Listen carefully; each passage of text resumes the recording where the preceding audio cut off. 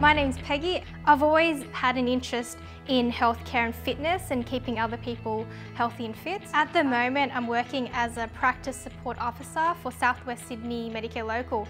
This is actually a non-clinical role, but that just goes to show you how flexible a degree in the Faculty of Health Science is. When you study at the Faculty of Health Science, you're learning from the lecturers that are the best in their field.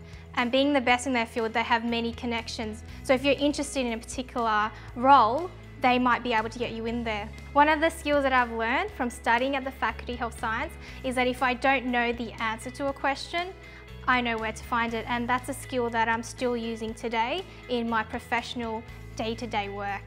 I enjoyed studying at the Faculty of Health Science um, because it wasn't just about study, it wasn't just about schooling and learning. It was about fun and meeting new people as well. The field of healthcare is ever changing and always exciting. If you want to be a part of a healthy future, do a degree at the Faculty of Health Science.